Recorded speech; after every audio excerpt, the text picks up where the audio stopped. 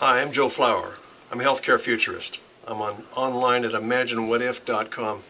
What's happening here at Health 2.0, it's a part of something very much larger in which healthcare is changing. I like to say it's starting to liquefy.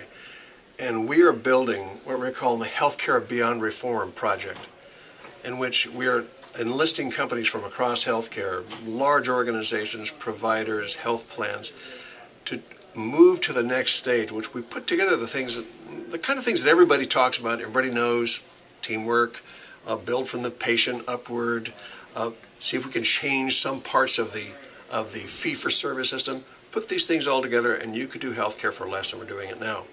In fact, we believe you could do healthcare for half of what we do it now, better for everyone.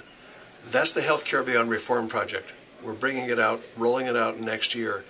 Come to the website, imaginewhatif.com, and take a look. We've got a lot of good ideas. Thanks.